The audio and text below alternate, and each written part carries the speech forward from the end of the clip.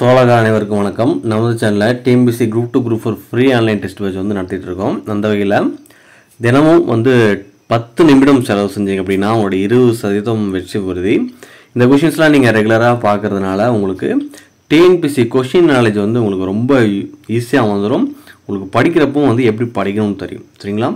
இதை வந்து நீங்கள் வீடியோவை பார்த்து தெரிஞ்சுக்கிறதுனாலும் ஓகே இல்லை உங்களுக்கு பிடிஎஃப் தேவைப்பட்டதுனாலும் டிஸ்கிரிப்ஷனில் இருக்கிற seven double six seven double four eight four eight six நம்பரை கான்டாக்ட் பண்ணுங்கள் பிடிஎஃப் வாங்கியும் படிச்சுக்கலாம். சரிங்களா? ரொம்ப முக்கியமான பகுதிங்க. டெய்லியும் பத்து நிமிஷம் அது மட்டும் நீங்கள் ரிவைஸ் பண்ணாவே போதுமானது. ஓகே முதலாவது கேள்வி. சிஒய்ஜிஎஸ் இரண்டாயிரத்தி இருபத்தி ரெண்டில் தேர்க்கப்பட்ட ஹிஸ்ட்ரி கொஸ்டின்ஸ் வந்து பார்க்கலாம். முதலாவது கேள்வி. அக்பரின் காலத்தில் எந்த மாநிலம் ஏழு போர் புரிந்து கொள்ளும் பிரதேசங்களாக பிரிக்கப்பட்டது? Answer option C Gujarat Gujarat தான் வந்து ஏழு போர் புரிந்து கொள்ளும் பிரதேசங்களாக பிரி- பிரிக்கப்பட்டது. இரண்டாவது கேள்வி சிந்து சமவெளி நாகரிகம் பற்றிய கூற்றுகளில் சரியான கூற்றை வந்து தேர்வு செய்ய சொல்லிக்கிறாங்க. ஒன்று இது சமய மதசார்பற்ற நாகரிகம் முதன்மையாக காணப்பட்டது. மேலும் மதமானது ஒருபோதும் சமுதாயத்தில் ஆக்கிரமிக்கவில்லை. இரண்டு இக்காலத்தில் ஜவுளி தொழிற்சாலை உற்பத்தியில் பருத்தி முக்கிய பங்கு வகித்தது. அதோட ஆன்சர் பார்த்தீங்கன்னா ஆப்ஷன் சி ஒன்று மற்றும் இரண்டு. இரண்டுமே சரியானது. நான் ஆல்ரெடி சொல்லியிருக்கேன் சிந்து சமொழி நாகரிகம் பொறுத்தளவு எவ்ரி லைனும் வந்து நீங்கள் முக்கியத்துவம் கொடுத்து படிக்கணும். எந்த லைன் வேணாலும் கொஷினாக வரும். மூன்றாவது கேள்வி எந்த குப்த வம்ச ஆட்சியாளர் அலகாபாத் கல்தூண் கல்வெட்டை வெளியிட்டார்? அலகாபாத் தூணை கல்வெட்டு வெளியிட்டவர் யார்? சமுத்திரகுப்தர். சமுத்திரம் எப்பவுமே அழகாக இருக்கும். சமுத்திரகுப்தர்.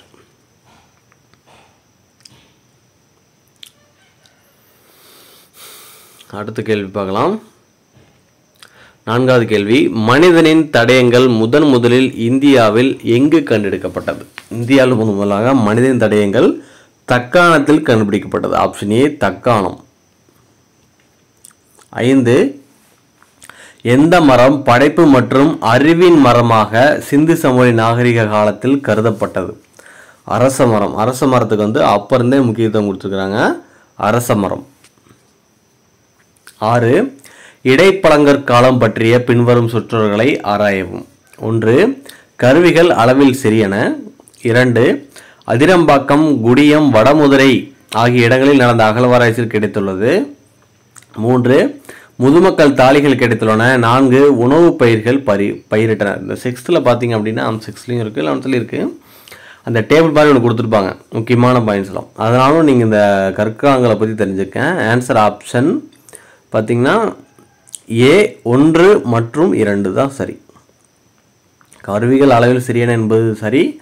அத்திரம்பாக்கம் கொடியும் வடமுதிரை ஆகியனுக்கு கிடைத்துள்ளது என்பதும் சரி. பொதுமக்கள் தாலியில் அப்போ வரல. உணவுப் பயிர்களும் அவங்க பழைய பயிரிடல. நாடோழி மக்களாக தான் இருப்பாங்க.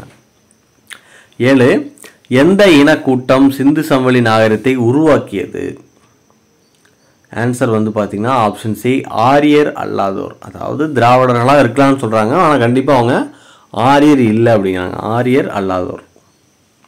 அடுத்தது டிபிஜிஎஸ் ரெண்டாயிரத்தி இருபத்தி ரெண்டு தேர்வில் கேட்கப்பட்ட ஹிஸ்ட்ரி கொஸ்டின்ஸ் முதல் கேள்வி அச்சுதராயர் காலத்தில் விஜயநகர பேரரசு எத்தனை ராஜ்யங்களாக பிரிக்கப்பட்டது? அச்சுதராயர் அச்சுதராயர் ஆட்சி காலத்தில் பார்த்தீங்கன்னா பதினேழு ராஜ்யங்களாக பிரிக்கப்பட்டது. அச்சுதராயர் யார் அப்படின்னு பார்த்தீங்க அப்படின்னா கிருஷ்ணதேவராயருக்கு பின் விஜயநகரை ஆண்டவர் தான் வந்து அச்சுதராயர்.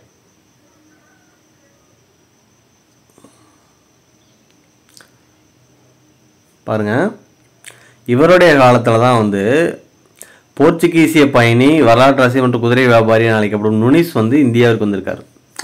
பயணிகள் சம்மந்தப்பட்ட ஒரு கொஷின் வரும் இல்லையா? இதெல்லாம் இப்படி தான் எக்ஸ்ட்ரா பாயிண்ட்ஸில் நம்ம தெரிஞ்சுக்கிறோம். இரண்டாவது கேள்வி. பானிபட் போரில் பாபரின் இராணுவத்தில் இருந்த தலை சிறந்த துப்பாக்கி வீரர் யார்? பாபரோட இராணுவ துப்பாக்கி வீரர் உஸ்தாத் அலி. மூன்றாவது கேள்வி. சிவந்த மண் கற்களால் கட்டப்பட்ட லால்கிலா எனப்படும் கோட்டையை கட்டியவர் யார்? லால்கிலா கோட்டையை கட்டியவர் ஷாஜஹான்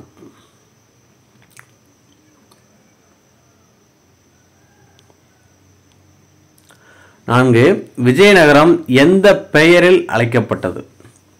ஆன்சர் ஆப்ஷன் டி நாலு பேர் பீஜநகர் விருப்பாட்சபுரம் ஹோஸ்பட்டணம் வித்யாநகரம். இது எல்லாமே விஜயநகர பேரரசோட பெயர்கள் தான் ஐந்து கூற்றுகளை ஆராயவும். ஏ அக்பர் சாரதா சட்டத்தின் முன்னோடியாக திகழ்ந்தார். பி இவர் ஆணுக்கு குறைந்தது பதினெட்டு வயது பெண்ணுக்கு பதினாலு வயதுமாக தீர்மானித்து குழந்தை திருமணத்தை குறைக்க நடவடிக்கை எடுத்தார். அக்பர் பற்றி கொடுத்துருக்காங்க பாருங்கள் முகலாயனாவே அக்பர் ஷாஜகான் இல்லைன்னா ஜஹாங்கீர். இவங்க மூணு பேர் ரொம்ப முக்கியமானவங்க. ஆப்ஷன் பி ஏ மற்றும் பி இரண்டுமே சரியானது. ஏபி சரியானது. சாரா சட்டத்தை முன்னோடி அக்பர் ஆண்களின் வயது பதினெட்டு பெண்களின் வயது பதினாலு ஆக தீர்மானித்தார். ஆறு கீழ்வனவற்றுள் அரசரின் தெய்வீக உரிமை கோட்பாட்டை முன்வைத்த முதல் அரசர் யார்? தெய்வீக உரிமை கோட்பாட்டை முன்வைத்தவர் வந்து பால்பன். இல்துமிஸ் உருவாக்கிய நாற்பது குழுவை வந்து ஒழித்து இவர் அரசர் தான் தெய்வமாக வந்து கருதப்படணும்னு முன்வைத்தவர் அவர் தான் ஏழு ஹரப்பா மக்களால் பயிரிடப்படாத பயிர் எது? ஆப்ஷன் டி கரும்பு. கரும்பு பார்த்திங்கன்னா போர்ச்சுகீசிகளால் தான் நம்மகிட்ட வரும். ஸோ அப்படிலாம் இருக்காது. பார்லி கோதுமை பஞ்சு எல்லாமே ஹரப்பா காலகட்டத்தில் இருந்துச்சு. ஸோ இதோட இந்த ரெண்டு கொஷின்ஸ் முடிஞ்சது. இன்றைக்கான பத்து நிமிடங்கள் வந்து முடிஞ்சது சரிங்களா? மீண்டும் அடுத்த பதிவு சந்திப்போம். இது கண்டிப்பாக உங்களுக்கு பயனுள்ள வகையில் இருக்கும். ரெகுலராக ஃபாலோ பண்ணுங்கள் நன்றி வணக்கம்.